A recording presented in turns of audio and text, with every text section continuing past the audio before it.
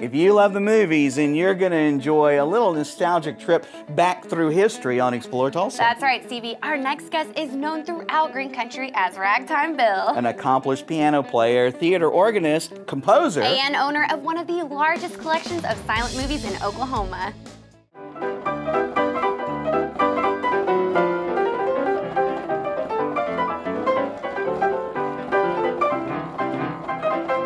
I've always been interested in piano music, the, specifically ragtime. And since I was a kid, I enjoyed playing ragtime uh, from the age of about 15. Uh, and I grew up as a minister's son. The gospel music was kind of in my blood too. So when I was a college student, I dropped out of college to go be the organist with a revival. Then uh, I became a piano tuner and applied that trade for a while. Finally went back to college and got a degree in computer science. And I'm going to devote my retirement to tuning pianos and playing ragtime and accompanying silent movies.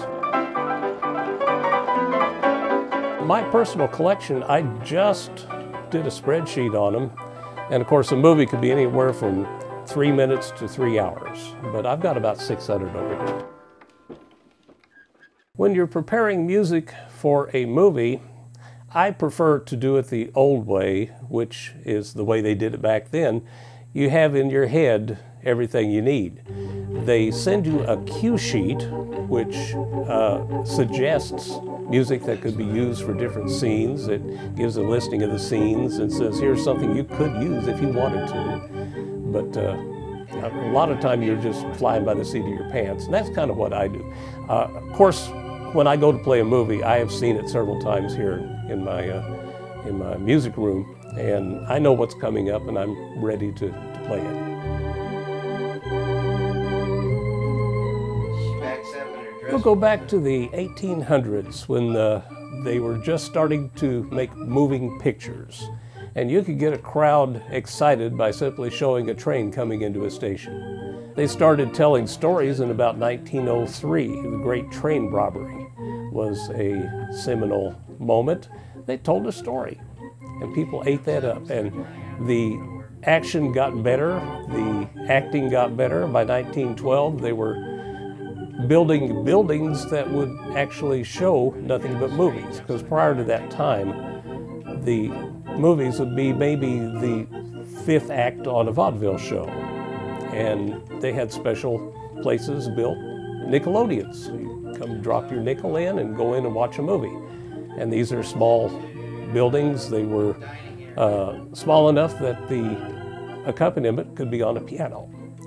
And this is where ragtime comes in because the ragtime uh, was the music of the day back in the 19 teens. And movies got more and more involved, and they started building movie palaces that would hold thousands of people. Well, the piano would no longer carry it. You couldn't fill a big hall with just a piano. Then they had an orchestra, the vaudeville orchestra, but that was expensive. So they thought, we're going to save some money. And they built a special organ. The theater pipe organ is the only instrument I know of that was ever designed to put musicians out of work.